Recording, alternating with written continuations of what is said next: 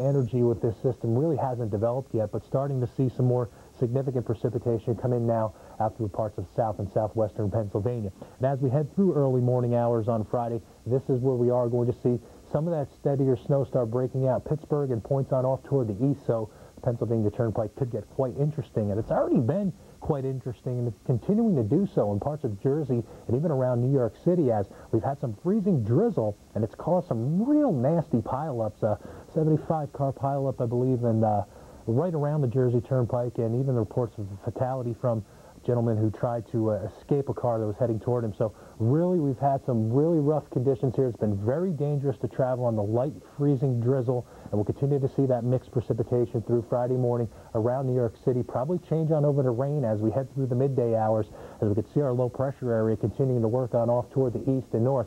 But our heavier stripe of snow through the Poconos starting to enter the southern tier of New York State.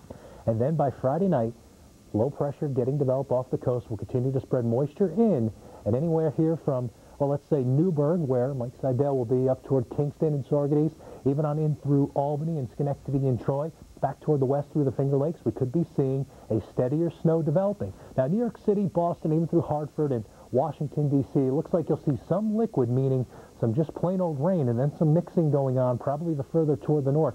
Thinking right now is that Philadelphia and Washington, D.C. will most likely have limited wintry precipitation, but as we head on up through New York and even through Hartford and Providence and Boston on the tail end of the system through Friday night, you could be getting some snow. And some light snow as we head through the midday morning hours on Friday. That means anywhere from one to three inches. And once again emphasizing, this is not the big show. The big show will be late Friday through Friday night when the snow in our area of low pressure is forecast to both increase in intensity. So just ahead here in the northeast and New England early and then the six-inch total is probably coming in later Friday through Friday night.